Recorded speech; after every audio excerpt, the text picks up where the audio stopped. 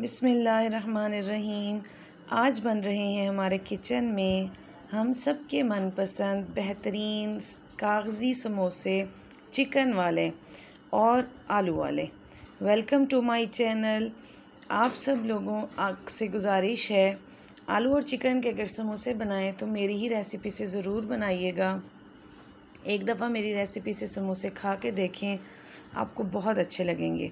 इसके जो जो इंग्रेडिएंट्स हमें चाहिए, वो आपको इस वक्त स्क्रीन पर नज़र आ रहे हैं, जिसमें चिकन है, घर के बेहतरीन मसाले हैं, लहसुन है, और देखिए ये मैं डाल रही हूँ सबसे पहले चिकन और इसके साथ डाला मैंने लहसुन, प्याज, हरी मिर्च, और आलू साथ ही मैंने धो के काट के रख दिए थे, जिनको आराम से हम इसमें डाल सकते हैं। कोई टेंशन लेने वाली बात नहीं होती कि आप अलहदा अलहदा चीज़ों को बॉईल करें। चिकन और आलू इकट्ठे ही गल जाते हैं और जायका भी उनमें, दोनों में एक दूसरे का आ जाता है।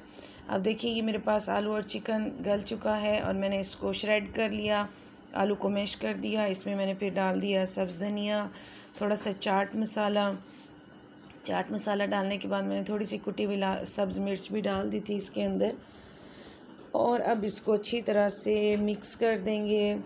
थोड़ा सा नमक मुझे कम लग रहा था तो मैंने वो भी डाला और थोड़ा सा गरम मसाला भी मैंने डाल दिया। ये साथ में मैंने रखी हुई है समोसे की पट्टियाँ और इसको अच्छी तरह से मिक्स कर लेंगे। इसको मिक्स करने के बाद अब हम इसको बिल्कुल ये मैश करके आपने कर रखना है। चिकन जो है, वो श्रेड किया हुआ होगा, उसके पतले पतले रेशे आपको नज़र आ रहे होंगे। और जबकि आलू जो हैं, वो इसी तरह से बॉयल होके आपने उसको अच्छी तरह से गला लेना है। और अब इसके बाद आपने क्या करना है जी, आपने इसके अंदर मिर्चें अगर आपको कम लगें तो आपने वो डाल देनी है। कोई मसला नहीं होता, वो पक जाती हैं, बाद में बहुत अच्छी लगती हैं। आप इस जगह पे भी, इस पॉइंट पे भी लाल मिर्चें, कुटी हुई लाल मिर्चें या पिसी हुई लाल मिर्चें आप डाल सकते हैं। और अब आपने फिल करने के लिए समोसे को फिल करने के लिए इस तरह से समोसे को फोल्ड कर लेना तिकोन वाली शेप में। मेरे पास मैदा नहीं था तो मैंने थोड़ा सा अंडा जो है वो फेंट के रखा हुआ था अपने पास। और अब इस शेप को बंद करने के लिए मैं इसके, इसको अंडा लगा दूँगी। देखिए, इसको मैंने थोड़ा सा पॉकेट में इसके अंडा लगा दिया। और अब इसको इस तरह से शेप देने के बाद हम इसमें समोसे की जो फिलिंग हमने बनाई है वो हम ऐड कर देंगे। और इसको कर देंगे बंद। और बंद करने के लिए हम लोगों ने इसको मैंने आपको जैसे बताया, हम अंडा का, अंडे का भी इस्तेमाल कर सकते हैं। अंडा लगाने, इससे बहुत सॉफ्ट और बहुत ही क्रिस्पी, यमी से बनते हैं। देखिए, ये थोड़ा सा कोना इसका निकला हुआ था, मैंने ये निकाल लिया। इसको मैंने बाद में पापड़ बनाने के लिए यूज़ किया था। और उसको मैंने दही बलों के लिए इस्तेमाल किया था। तो एक एक करके इस तरह से मैंने समोसा पट्टी निकाल के और ये मैंने समोसे भर के और अंडे लगा लगा के इसको फिल करके मैं इसी तरह से रखती गई थी।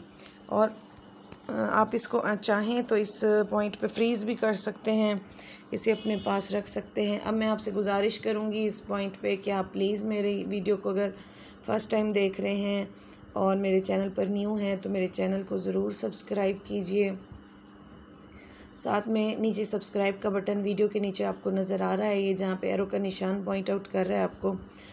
और बेल आइकन को ज़रूर प्रेस कीजिएगा ताकि आपको मेरी हर नई आने वाली वीडियो मिल सके।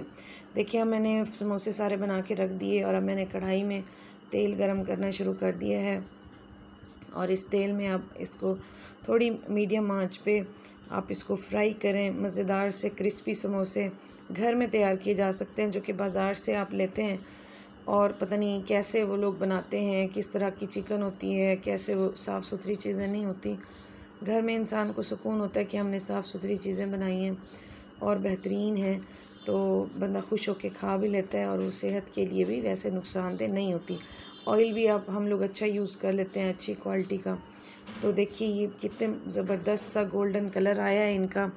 वीडियो को एंड तक देखने का बहुत शुक्रिया और मेरे चैनल पर न्यू हैं तो इसको सब्सक्राइब कर दीजिए और मेरी वीडियो को और मेरे चैनल को लाइक कीजिए, अपने दोस्तों के साथ शेयर कीजिए।